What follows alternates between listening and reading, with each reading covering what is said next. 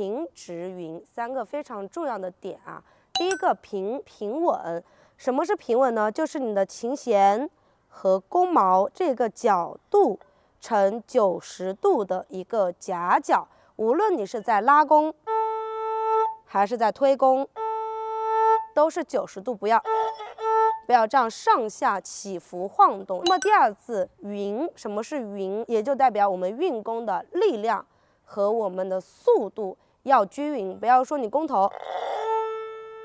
很多同学在拉弓的拉出来这一下是有杂的，为什么？因为你的手对于琴弓的压力太大了，你稍微往回收一点，我们弓头和弓尾的力量和速度得是均匀的。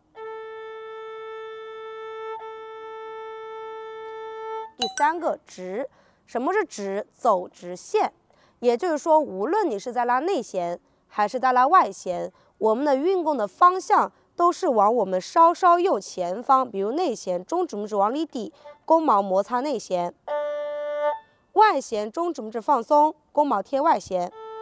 我的内外弦的方向是一致的，对不对？不是，